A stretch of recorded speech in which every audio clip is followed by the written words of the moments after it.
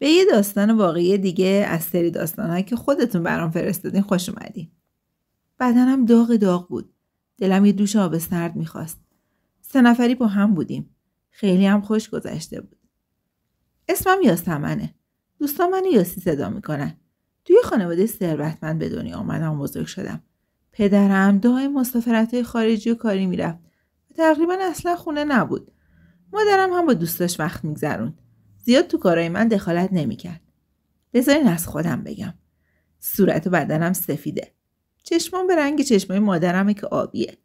با لبای صورتی و یه بینی عملی. در کل چهره خوبی دارم. درس خون هم بودم و کنکور که دادم توی شهر دیگه دانشگاه قبول شدم.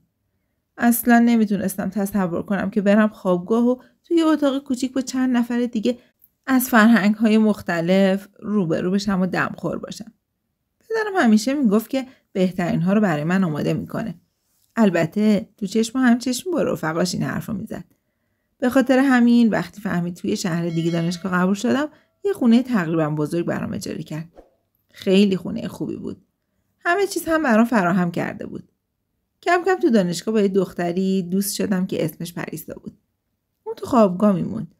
ما خیلی با هم صمیمی شده بودیم. بهش پیشنهاد دادم بیاد خونه من. با هم بمونیم. اجاره رو که هم بابای من می‌داد. وقتی به بابام گفتم گفت خیلی هم خوبه. هم از تنهایی در میای هم امنیت بیشتری داری. حتی گفت اجاره هم نمی‌خواد بده ها. پریسا تا این خبر شنید با خوشحالی قبول کرد چون می‌گفت اتاقمون خیلی شلوغه و از نظر زمانی هم محدودیت داریم. خلاصه همخونه شدیم. خیلی با هم راحت بودیم. اون حتی بیشتر کارهای خونه رو انجام می‌داد و با آشپزی خوبش همیشه غذا داشتیم. چند روزی بود با یه پسری از دانشگاه از یه رشته دیگه دوست شده بود. مرتب بیرون می‌رفتن و از پسر هم کلی برام تعریف می‌کرد. اینکه خیلی با شخصیته. وضع مالی خوبی هم داره. من حوصله این کارا رو نداشتم و سرگرم درسام بودم. پدرم ماهی یه بار به همون سر می‌زد و یخچال رو پر از غذا می‌کرد و حتی حسابم پر از پول. بعدش هم می‌رفت. خیالشم راحت بود که من دیگه تنها نیستم. پریستا دوست به سرش رو می آورد خونه. منم با این قضیه مشکلی نداشتم. وقتی اون میومد من می‌رفتم تو اتاقم و اونقدر درس میخوندم که گاهی از خستگی بیهوش می‌شدم.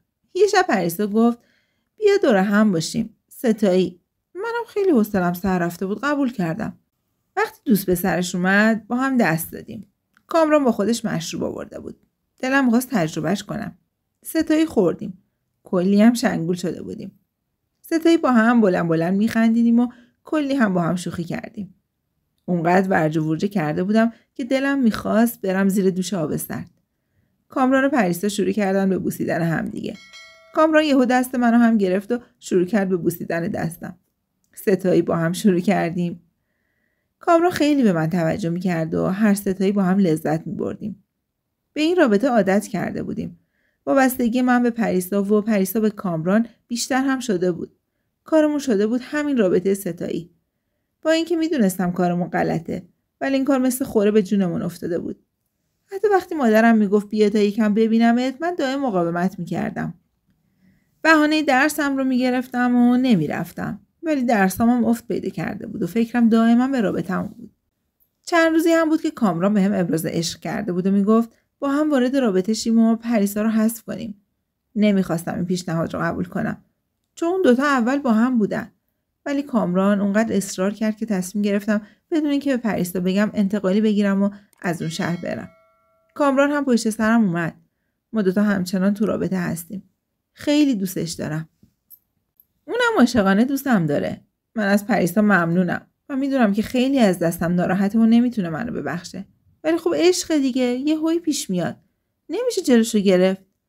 حتی با کامران قرار ازدواج گذاشتیم و همش از خدا می‌خوام به زندگیمون آرامش بده. یه آدم خوب هم سر راه پریسا قرار بگیره. نمی‌دونم. اگه یه روزی با پریسا روبرو بشم چی میشه؟ ولی دلم می‌خواد اون خیلی خوشبخت بشه. من و کامران هم به زندگی پر از آرامش برسیم.